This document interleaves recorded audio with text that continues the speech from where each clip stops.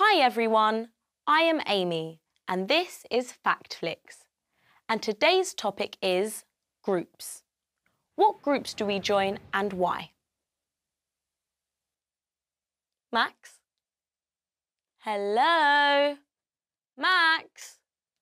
Are you in this conversation or not? Sorry, group chat. Now, what are we talking about? Why we join groups. And obviously one reason is to communicate and share information. Or in your case, to share silly photos. What app do you use? I'm on Snapchat at the moment. That's very popular here. But worldwide, the most popular group messaging app is? WhatsApp? Correct. OK, so we join groups to communicate and share information. What else?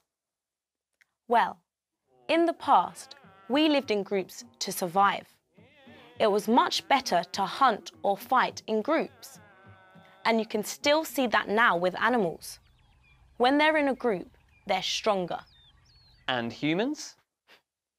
Well, we still form groups to make us stronger. Sometimes that's bad, like when people join gangs. But sometimes it's good, like when people volunteer to help out. So people form groups because they are stronger together. But there are also clubs, which people join because they've got the same interests. Right, we all like to be with people who like the same things. I'm a member of the chess club at our school. And I'm in a band. Really? That's so cool. Have you got many followers, many fans? Yeah, loads. Um, well, a few. Maybe you need a fan club. You probably haven't got as many followers as these singers.